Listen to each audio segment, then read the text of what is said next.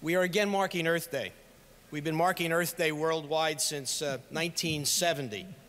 Earth Day was originally devised to raise the consciousness of the world to the need to protect our environment, make environmental protection a political issue.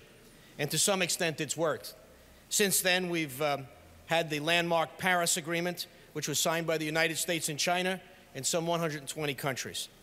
And it was estimated that this year, over 190 countries hosted demonstrations of support for environmental protection on Earth Day. But unfortunately, not everyone is on board, not everyone understands the importance.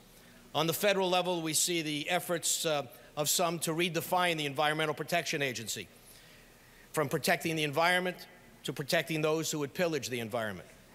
And on the state level, we have too many people who talk the talk, but few, too, too few people who would walk the walk.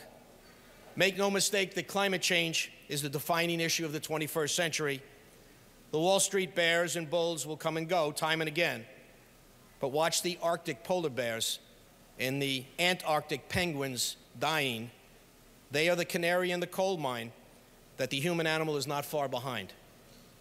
And we need not choose between sustainable environment and sustainable economy. In fact, green is becoming the gold standard, promising new businesses and new jobs all local. You don't import locally grown fresh produce. You don't ship in wind and water and sun power in a tanker from the Gulf.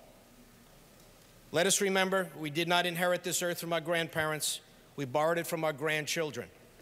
We are trustees with no right to squander what we're charged with protecting.